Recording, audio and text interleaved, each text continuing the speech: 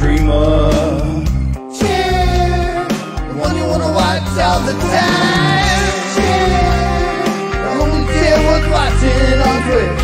Cheer, you know you love it.